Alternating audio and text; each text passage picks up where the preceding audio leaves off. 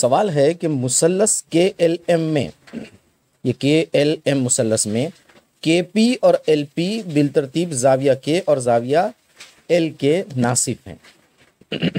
यानी ये के पी और एल पी ये जो है के पी जाविया के का और एल पी जाविया एल के नासिफ हैं। और साथ ही दिया हुआ है कि मुसल, जाविया एम की पैमाइश चालीस है, यानी इस इस जाविया की पैमाइश चालीस है। तो के पी एल यानी के पी एल इस जाविये की पैमाइश हमको मालूम करनी है। तो ये सवाल इल्म हिंसा का इस बुनियादी तौर पे मुसलस की खसूसियात पर मुनहसर करता है। हम देखते हैं कि इसको हल किस तरह से करेंगे। देखिए मुसलस के एल एम जो बड़ा वाला मुसलस है, उसके तीन जाविये हैं के है एल है और एम है। ये तीनों की पैमाइश का मजमुआ 180 हुआ।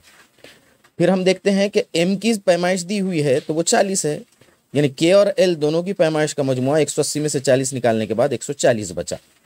यानी ये जो दो जाविये बचे हुए हैं, जाविया के और जाविया एल बड़े मुसलस का, उनकी दोनों की पैमाइश का मजमुआ 140 है। ठीक है, अब हमको पता है कि के पी जाविया के का नासिफ है और एल पी जाविया एल का नासिफ है। नासिफ का मतलब ये के पी इस जाविये के को दो मसावी जावियों में तकसीम कर रहा है। यानी दूसरे अल्फाज में हर हिस्सा ये दो मसावी हिस्सों में का हर हिस्सा जाविये के का आधा है। और उसी तरह ये दो मसावी हिस्सों का हर हिस्सा जाविये एल का आधा है।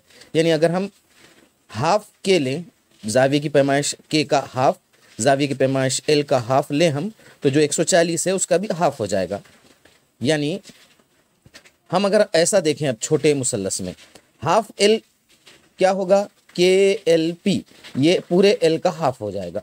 और एल के पी ये जाविया जो है, ये जाविया हो जाएगा पूरे के का हाफ़ तो हाफ़ के के लिए हमने क्या इस्तेमाल किए?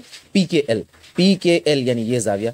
हाफ़ एल के लिए इस्तेमाल किए K L P K L P जो कि कितना आएगा? 140 का आधा यानी 70 वो आ गया 70 अब हम छोटे मुसलस की जानी बात के पी एल हमने देखे कि इस जाविये की पैमाइश और इस जाविये की पैमाइश का मजमुआ सत्तर आया.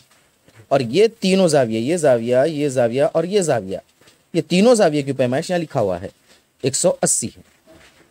और अगर ये दोनों की पैमाइश सत्तर है तो ये इधर तफरीक में जाने के बाद 180 माइनस सेवेंटी, यानी के पी एल जो है, वो बचा 110 अब मुख्तसरन किस तरह से करें हम उसको, हल तो आपको बता दिया गया यहाँ पर। ये तीनों पैमाइश, बड़े मुसलस के तीनों जावियों की पैमाइश का मजमू 180 उसमें से ये 40 जाता है, माइनस होता है तो ये बच जाते हैं दोनों 140 के। उनका हाफ़ है, चूँकि नासिफ है, इसलिए हाफ़ हाफ़ हो जाएगा।